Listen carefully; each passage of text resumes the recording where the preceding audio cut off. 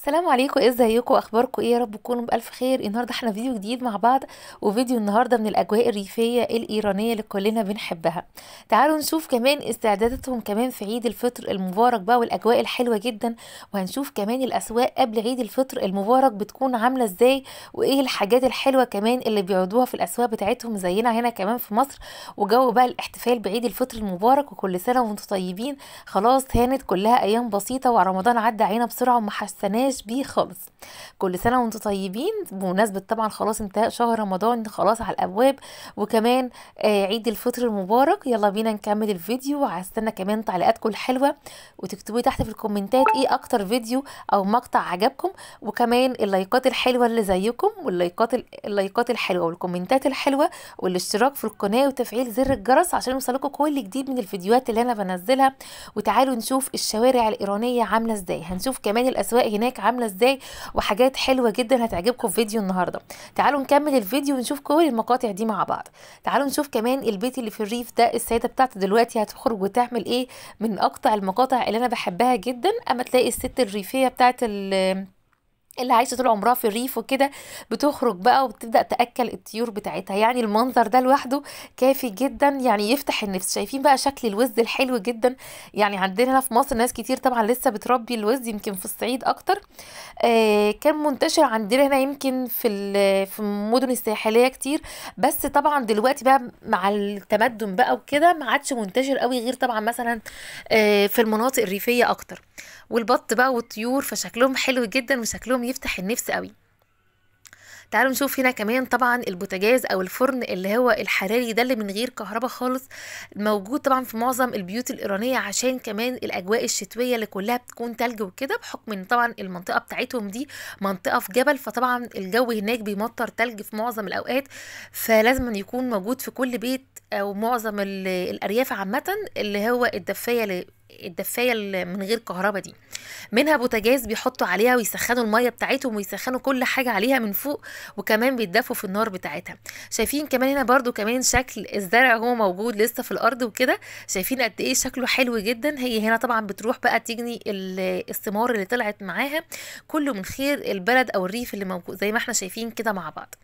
لمت الخيار والطماطم الكوسة كل حاجة موجودة بدأت تلمها كمان كويس جدا وبتغسلها كمان في الريف كده زي ما إحنا شايفين وتبدأ تعمل بقى طبق سلطة حلو جدا. تعالوا نشوف هنا كمان بقى أجواء الأسواق هناك عاملة إزاي. السوق بتاع الخضار والسمك زي ما هو موجود عندنا كمان برضو الفاكهة موجودة يعني الفاكهة دي يمكن أشبه بالكمثرى عندنا في مصر. موجود كمان الخوخ الليمون يعني التوم طبعا التوم ده من الأساسيات اللي موجودة هناك الأسماك. يعني السوق بالظبط يشبه للأسواق بتاعتنا مفيش أي اختلاف خالص. يمكن كل البلاد العربية أو كل البلاد عامة اللي جنب بعض في بلاد الشام وهنا كمان عندنا الحمد لله كبلاد عربية يمكن نظام حياتنا أو نمط حياتنا مقرب لبعض. بحكم طبعا إن إحنا دول إسلامية وكده فيعني روتين حياتنا أشبه ببعض. يعني ناس كتير جدا كمان كانت شافت الأسواق دي قالت شبه السوق اللي موجود عندنا في بلدنا. طبعا الرمان ده من الفاكهة الأساسية يعتبر الفاكهة رقم واحد في الأسواق الإيرانية. لأن طبعا هناك في إيران الرمان ده بالنسبة لهم أهم حاجة. بيعملوا طبعا منه دبس الرمان الرمان ده بيدخل عندهم في الحلويات بيدخل عندهم في العصاير في كل حاجة هناك بيعتمدوا عليها على الرمان.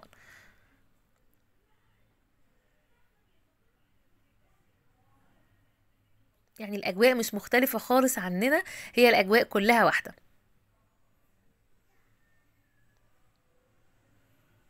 أنا عن نفسي بكون مستمتعة جدا وأنا بتفرج على الجولة السريعة اللي بتكون في الأسواق دي.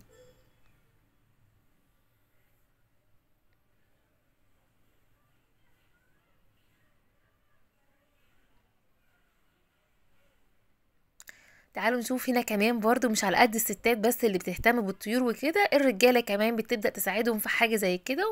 وطبعا هم شايفين بحكم إن ده عملهم وشغلهم لأن طبعا الحاجات دي هم بياخدوها بعد كده وبينزلوا بيها الأسواق بيبدأوا طبعا يبيعوا الطيور دي لأن هم آه مش بحكم إن هم بيربوها على قد ما هياكلوا ويشربوا بس هم طبعا بياكلوا ويشربوا وكل حاجة من الحاجات اللي بيربوها عندهم في الريف عامة وكمان بيبدأوا يستغلوا الموضوع ده كأنه بالظبط مشروع ليهم. بيبدأوا طبعا الستات آه، ده كأن شغل ليها من البيت. بتبدأ طبعا تذبح الطيور وتاخدها تبيعها في الأسواق هناك. وطبعا ناس كتير جدا بتشتري الحاجات دي بتشوفها إن هي حاجة طبيعية جدا مش أخدة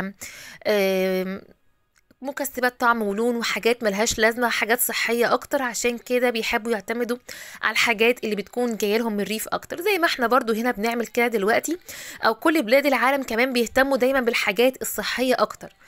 بحكم طبعا بقى كمان الأمراض اللي بقت منتشرة وكده كلنا بنحاول نتجه دلوقتي للحاجات الصحية المفيدة أكتر اللي مش فيها كيماويات مفيش فيها مكسبات طعم ولون الحاجات دي كلها طبعا بتكون مضرة أكتر فعشان كده الحاجات اللي بتكون بخير بلدها أو الحاجات الطبيعية دي هي المفيدة أكتر.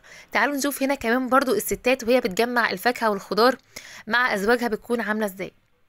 بيبداوا يساعدوهم سواء حتى كمان في الطبيخ في التنظيف آه، في جني الفاكهة والثمار والحاجات دي. آه، قد إيه طبعا بيشوفوا إن الحاجات دي هي مصدر رزقهم زي ما قلت لكم ده شغلهم هم شغلهم هناك طبعا آه، بينزلوا الأرض يبدأوا طبعا يزرعوا يشيلوا بعد كده الثمار مع بعض كل حاجة حتى تنظيف الأرض يشيلوا منها القش الكلام ده كله كلهم بيساعدوا بعض في موضوع زي كده.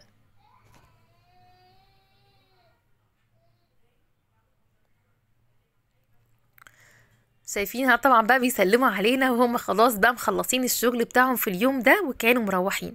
تعالوا نشوف هنا كمان برضو مقطع تاني كانوا بيوروا لنا فيه إيه. تعالوا نشوف كمان شكل المدينة من فوق اللي هم أو أو فوق البيت اللي هم عايشين فيه شكله عامل إزاي. قد إيه المنظر روعة جدا جدا من فوق. دي بحي- بحيرة كده صغيرة هم حواليها والأرض بتاعتهم حواليها فالمنظر لوحده يفتح النفس جدا. شايفين طبعا دي منطقة صغيرة فيها البحيرة دي بس شكلها حلو جدا.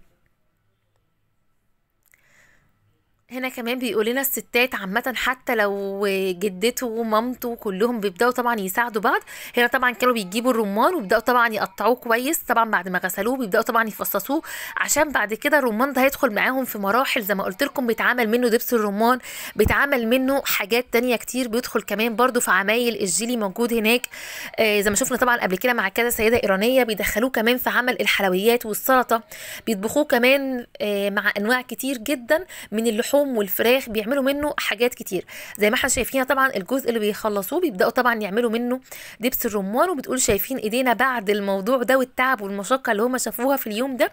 بس عامة بيكونوا مبسوطين جدا لأن ده هو تعبهم وشغلهم اللي هم بيحسوا بقد إيه بعد كده براحة نفسية نتيجة التعب والمجهود اللي هم عملوه.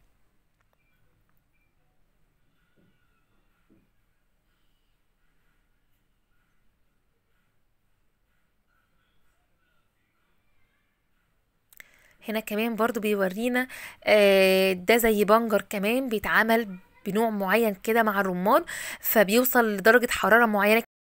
بيبدأوا كمان طبعا يطبخوه على النار زي ما إحنا شايفين وبيعملوا كمان منه آه عصير الرمان اللي هنشوفه كمان دلوقتي مع بعض وبيعملوا كمان المربى اللي بتكون قد إيه حلوة جدا. تعالوا نشوف هنا كمان طبعا بعد ما يبدأ يصفيه عشان يشيل منه البذر بتاع الرمان شايفينها كمان بقى بيقولوا على العصير ده قد إيه حلو جدا. طبعا كل ما بيتقل معاهم على النار كل ما بيتحول أكتر لمربى زي ما قلت لكم الرمان ده بالنسبة لهم أهم حاجة. أنا طبعا الرمان سبحان الله من الفواكه المفيدة جدا. تعالوا نشوف هنا كمان برضو الأجواء اللي في الأجواء الشتوية والتليج زي ما إحنا شايفين.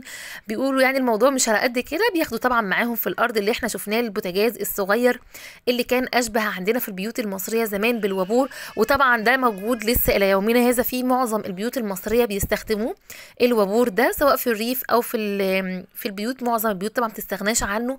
وفي ناس كتير جدا حالتها المادية متيسرة جدا بس بيحبوا جدا الوابور ده. شايفين طبعا شكل المدينة من فوق قد إيه شكلها حلو جدا. وسط الجبال بقى والتليج وال... والجو الحلو قوي ده.